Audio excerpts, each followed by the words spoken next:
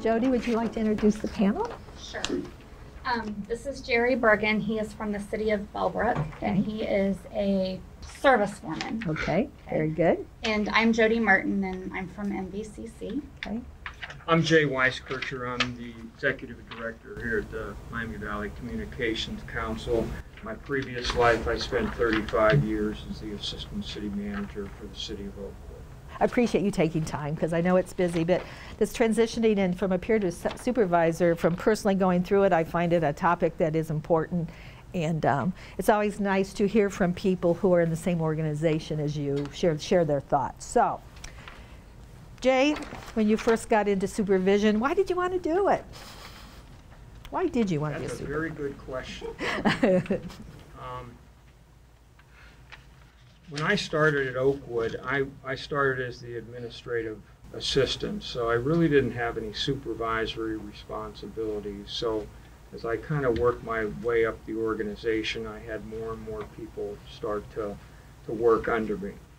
In most cases, I was uh, younger than those folks, and um, that's a challenge I think that many people face is supervising people who are uh, maybe older, have more experience than, than you do. So that's certainly an obstacle that, uh, that you have to uh, overcome.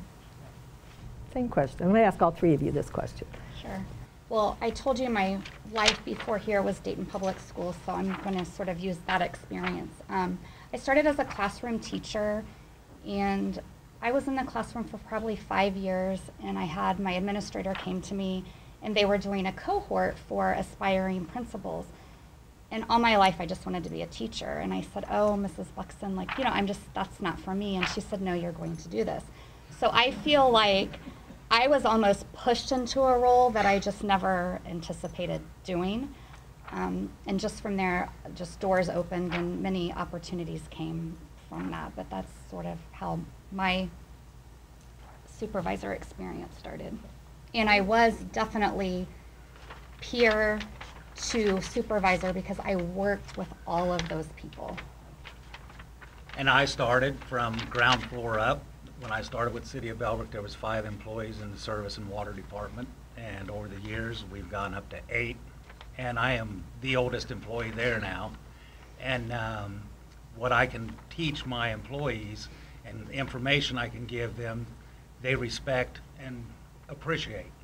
And they're always coming to me, asking me, what about this, what about that? And I don't have to go look it up in a book or find a map.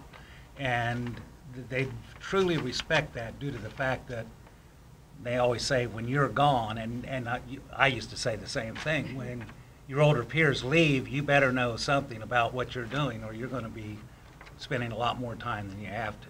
Right. The transfer of knowledge. Yes. That's the other thing to keep in mind, right?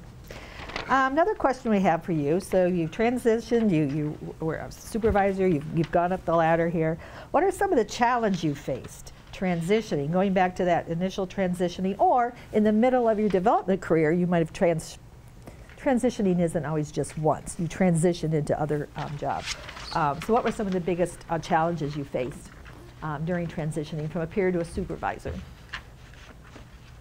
When I was at Oakwood, I did um, the human resources work. So over the years, gave a lot of promotional tests, and that's for people who were in the fire service, police service, uh, public works people, people who worked in the office. Um, and I think the most difficult thing for people is one day just being kind of one of the, the guys or the gals, and then the next day you're a supervisor. And uh, that's a very difficult transition. Some people handle it okay, other people not so well. Um, you know, it takes a special person because all of a sudden, you know, the group you used to eat lunch with or whatever, they may view you a little bit differently than they, they did before. You used to be one of them, now you're you're one of those supervisory people. And so that's a big adjustment for some people. Um, some people don't handle that well, so that's something that you really need to anticipate. Uh, that you're going to be treated differently or looked at differently by some of your peers. Not everyone, but, but some people do. So you need to prepare yourself for that. You can still be your friend, but you're, you're now a supervisor, and that friendship is maybe a little bit different than it was before. So, you know, just, just be prepared for, for those kinds of things. I always thought that we didn't do enough of this type of stuff, send people out and just say what you're experiencing and what you're going through is, is typical, it's to be expected, and here are maybe some advice or tips on how best to handle it, because it's a difficult transition, especially in smaller organizations. Absolutely. We just spent time Talking about that, so I appreciate hearing from you that you've experienced it too. It, it- it is real and it occurs. so. Absolutely. And, and some people, I've even seen, they, they drop, they would even drop out of the promotional process because the more they thought about that, they, they couldn't resign themselves to the fact that some of their relationships with their work colleagues were, were gonna change if they were successful and ended up being uh, promoted. So it's, it's, it's hard for people. Um, Do you want to tackle that, Jody? Sure. Okay. Um, from my experience is um, implementing change. And when I first um, started moving up, I was young. And I was with a very veteran staff. And, you know, I would show up at their classroom door or just professional development. And they're looking at me like, what can she tell me? I've already done all of this. Um, so that was very challenging. Um, and it was very intimidating. But I remember um, my supervisor saying, uh, start small, build your bandwagon, get a few on your team because success breeds success. And when they see others doing well, they're going to join your bandwagon. And that's sort of how I tackled that obstacle. Um, but it was very, it was very intimidating, um, very much so. And I also felt the same way with the upper management part of it. The bottom, bottom peers I could get along with. I was there. We have a great relationship then, and we still do, but it's learning the upper end, the do's and don'ts and the rights and wrongs. While transitioning, while through this whole peer transition thing, can you give an example? Can you think of an example of how you would have handled a situation? What was the situation? And how would you have handled it differently?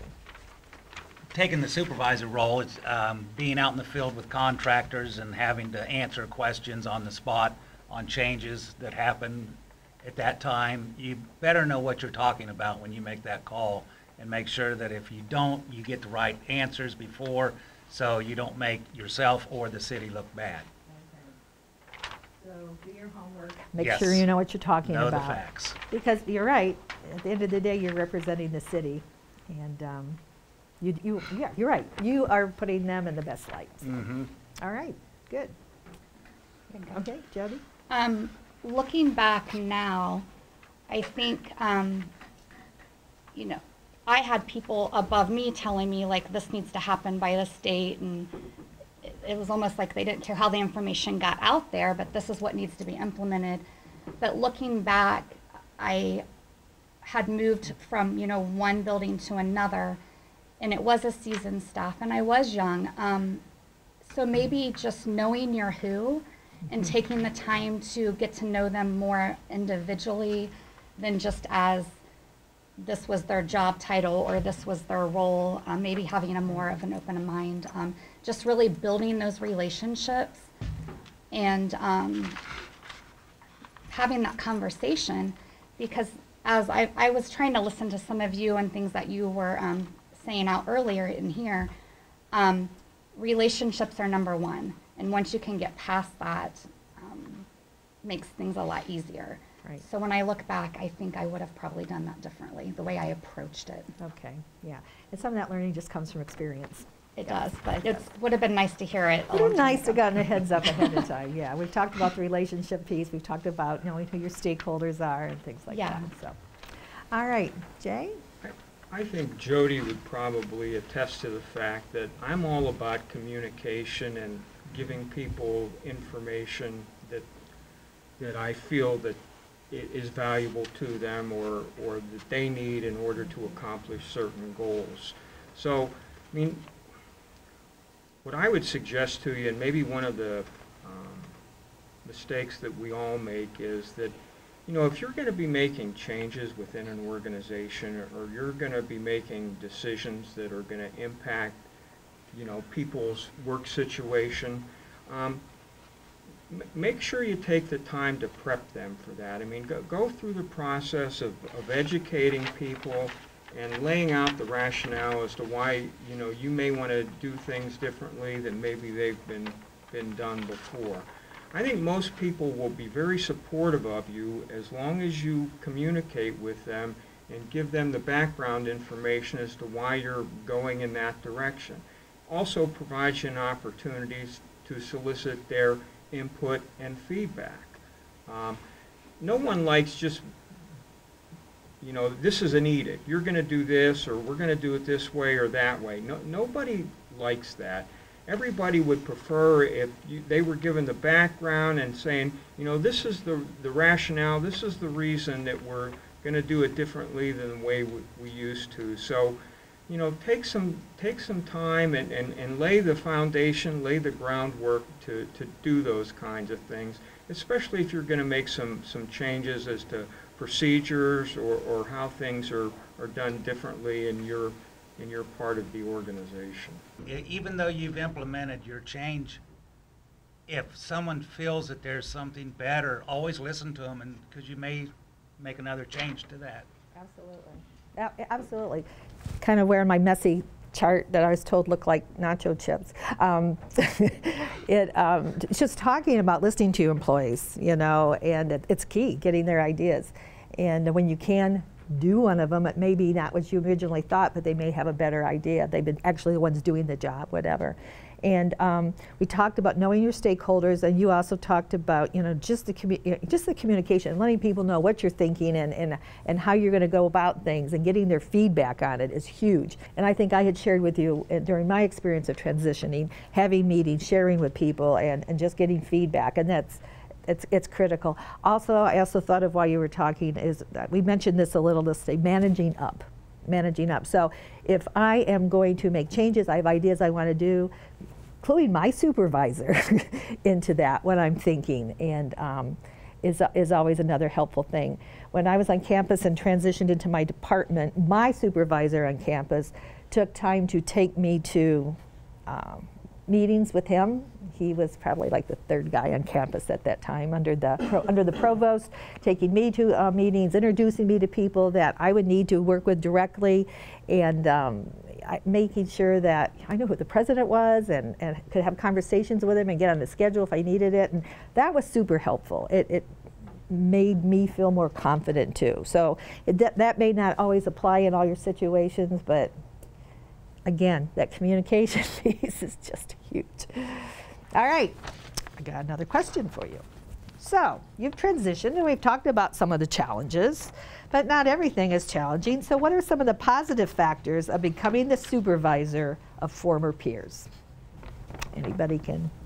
I think the easiest thing is that you, you've already done it. I mean, you're not going to ask anybody to do something that you probably haven't already done.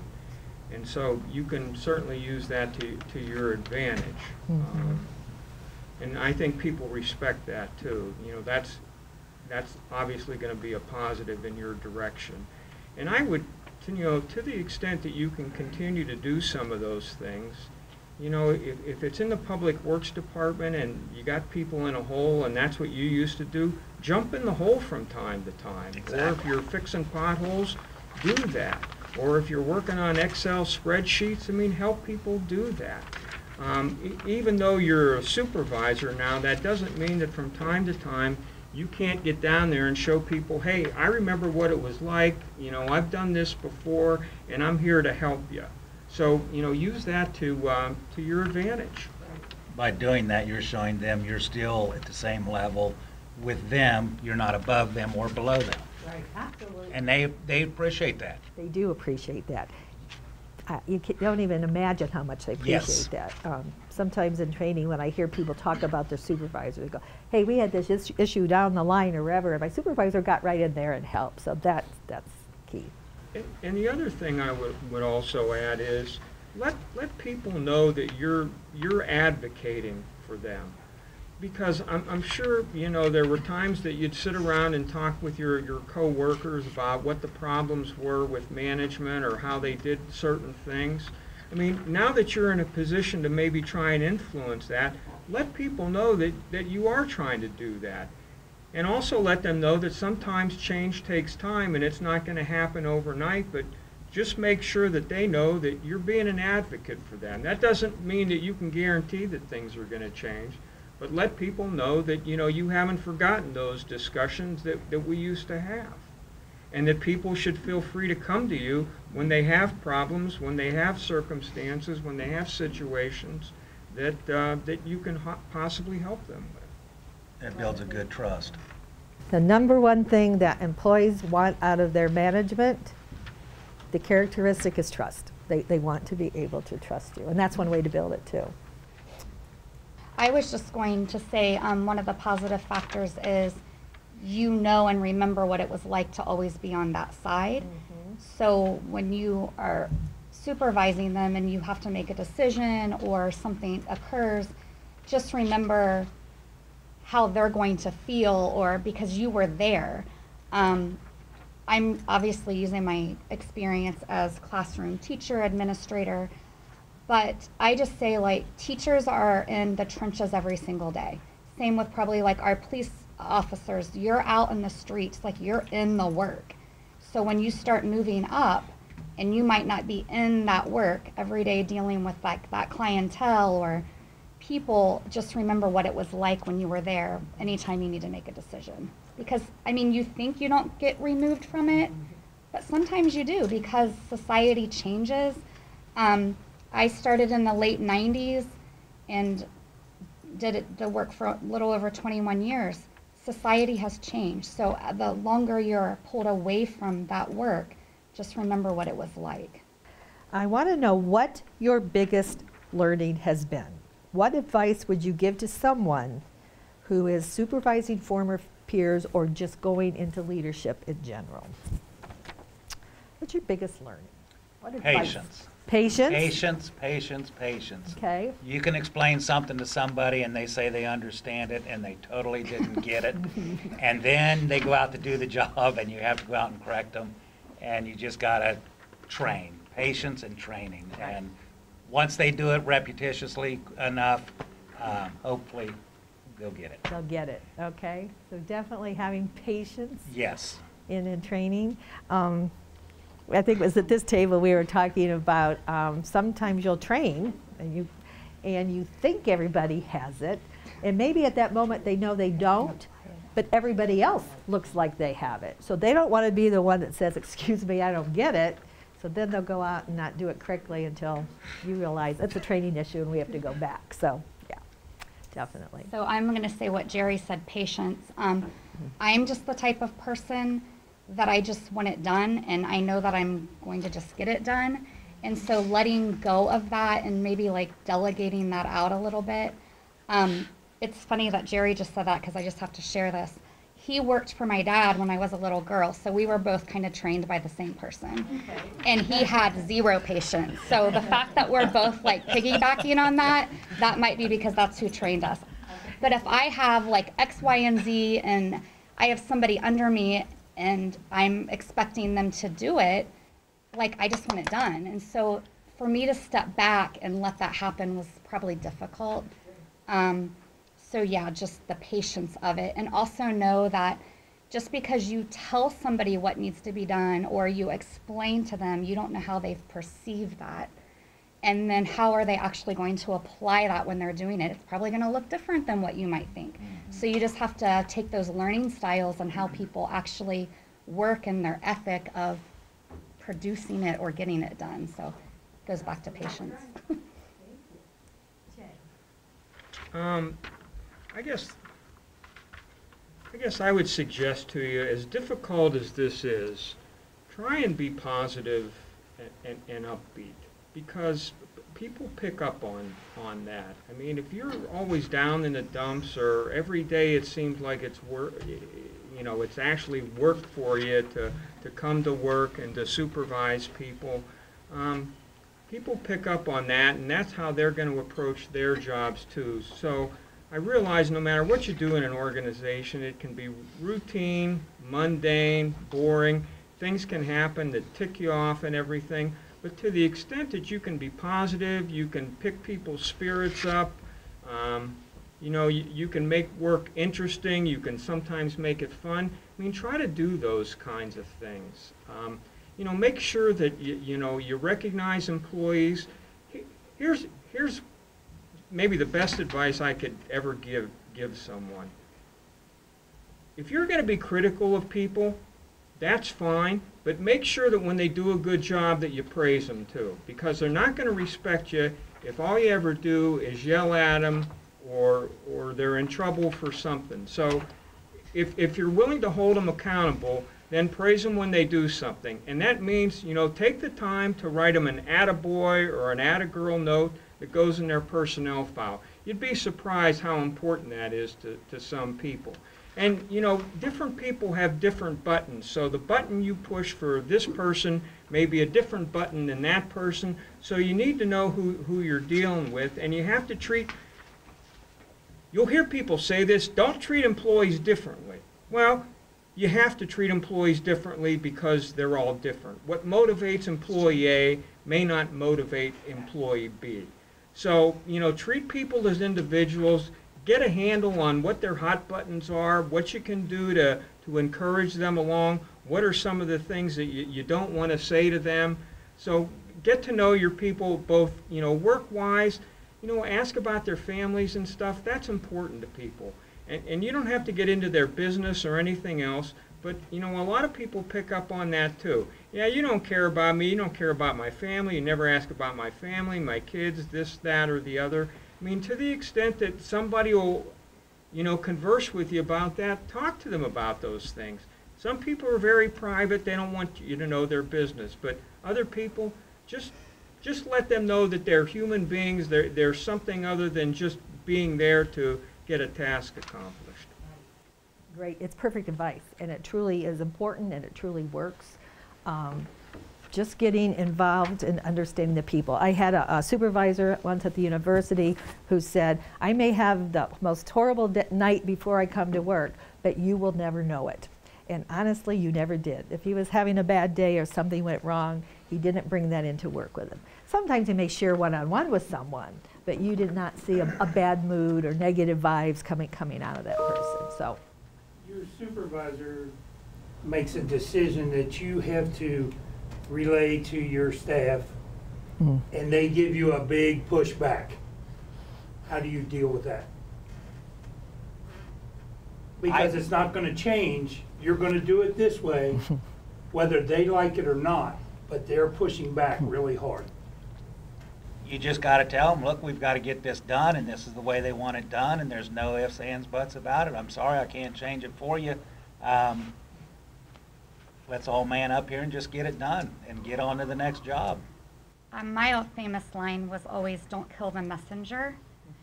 And sometimes before the information was given out, like I said, I kind of created a bandwagon of a few. So I had that support when the message was actually being delivered. Um, sometimes too, if you have some data or information or research or facts of why this is happening, people will buy into that a little bit. But that is a tough situation. But just don't kill the messenger. That was my famous line. You know, I, I guess, try not to throw people under the truck. I mean, if, if you're, if that came from a supervisor, and maybe you don't necessarily agree with the decision either, I mean, that happens a lot too. Um, But don't throw people un, under the bus. I mean, you gotta communicate that, you, you're wearing your big boy pants now because you're a supervisor. I mean, you gotta communicate that to people. There's nothing wrong with empathizing with people, and, and like Jody just said, maybe explain to them some of the uh, thought processes that, that went into that.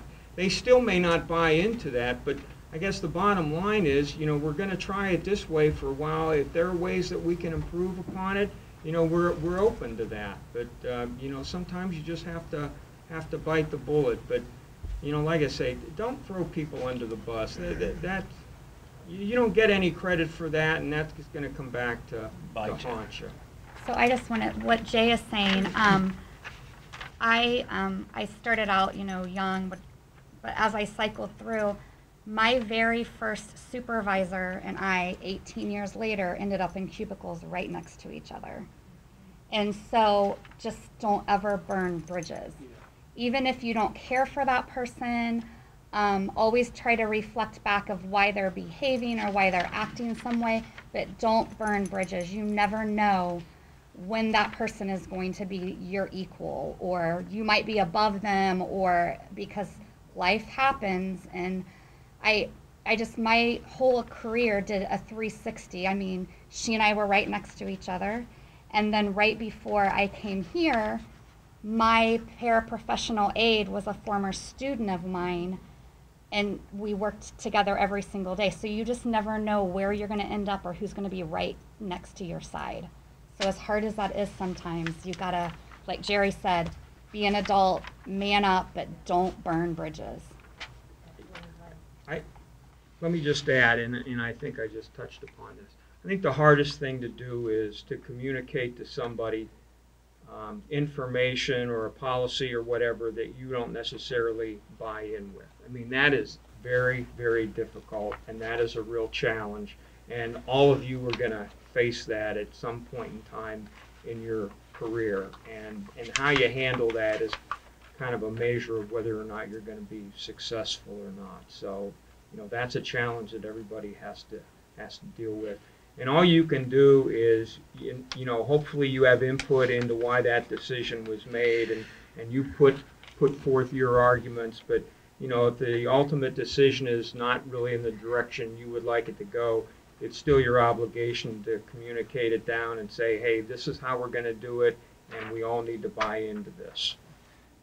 And something to add into that, Jay, is a lot of times your boss may come to you and not have time to tell you the whole story at that time. He just wants you to do this part of the job. There may be something lurking down the road that's going to change, or and he doesn't have time to explain it to you, or they haven't come up with the final solution.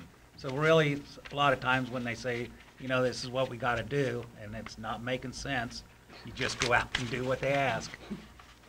in the past, you know, you've been in one organization. It it was the norm to be in one organization for 30 or 40 years and spend your whole career there. And kind of the new norm, especially like she was talking about earlier, they push in universities. Yes. You know, you kind of you're in one place for five years, and then it's kind of the norm to switch to something else. Maybe it's the same role. mm-hmm. Maybe you take a supervisor role at a different organization, but you know, do you think it changes the advice of, of, of the relationships that you build being in one organization for a long time versus trying to move organizations every couple of years? Well, I'm going to say if you leave an organization and you go to a new place and you step into that supervisor leadership role, you're already going to be looked at differently, anyways, because you were never their equal or their peer. But I just think that if that happens, you want to know your who. You want to know who is under you, what their strengths are, um, how they're going to perceive your communication. Because if they weren't your former peer, you're not going to know anything about them. So you need to take the time to learn that because it is about the rapport and getting to know. I just always, um, you have to lead by example. And it, I think we all said it in here earlier. Don't expect them to do anything that you wouldn't do. But I, I, I think it's almost to an advantage sometimes for them not to know you. But there's positives to also move up as well. But I think you're looked at a little bit differently entering that position. I would add one more thing. Be real cautious when you go to an organization. You don't trash the one you came from. Yes. Yes. Because kind of like what Jody said, it is, you'd be surprised how small of a network it Mhm. is. Down the road, something may happen and that may keep you, they might be like, you know, they left here and badmouthed us, so why do we? Just be cautious. Exactly. Even if you didn't agree or you left on bad terms, Yep. think of yourself down the Right. road, long term. Just Right. Don't badmouth everyone. Ab- Absolutely not. Because Right. especially what I'm learning coming from education to even here, everybody knows everybody. Yeah. Um, especially when it's like the local government, this person was in this city, now they're Mm-hmm. in this city. It was the same when I was um, in education. This principal is now a principal in this district. So there's some connection. So just even so, I tell my kids this. Just because you think it doesn't mean it needs to come out of your mouth. Like Right. you can think whatever you want, just don't let it out. Yes. I think being a supervisor is all about building relationships, and I think you know people who are in an organization for three or four years and then they move on and then they move on to somewhere else. I mean, I, I think you lose some of that ability there. Um, I mean, that that's just my opinion. I, I came from a generation where where people they started working somewhere and that's you know if they liked it that's where they finished their career. I realize things are, are, are different now that people do move around but uh, like i say i think being a supervisor is all about building relationships and uh, you know in a lot of cases that takes time. The other thing I would I would also mention to you is you know be an advocate for your employees. If they have good ideas or you know a different way to do stuff i mean listen to them and if you feel that it has credibility and, and you need to take it to the next level i mean do that for them. Um, that, that may not necessarily mean that things are going to change or somebody is going to accept it but again be an advocate for them. By the same token um, you know if somebody comes up with an idea that's probably not the best idea or, or whatever i mean tell people that I mean, be on, be honest with people. Don't tell somebody they have a good idea when you when you don't think that the idea is a good idea. Um, you know, ju- just treat people. You know, practice the golden rule. Treat people the way you want to be treated, and that's what I used to tell the supervisors who I kind of had some con- control of. I mean, treat people the way you want to be treated. It's, it's not always easy to do that and you're always going to have favorite employees. But you know, as you look at the, a group of people, just try to treat them the way you want to be treated, and I think you'll be successful as a supervisor. Yes. And the other thing is, like Jay was saying, know your employees, utilize those guys the best you can, and mix your groups up. Don't just put A with A every day, B with B. Mix those guys up, let them intermingle, let them train them on different things, give them the lead, let them go out and do their thing. If they're doing something wrong, correct that person, or as a group, explain to them what they're doing wrong, but let them go at it. Let them, they feel better doing the job and knowing that they're doing it right. Thank you so much for coming everybody. and your Good luck. time, and uh, we appreciate you sharing uh, from your experience, and uh, it always makes me feel good because kind of validated some of the things we already talked about. So uh, anyway, thank you very much.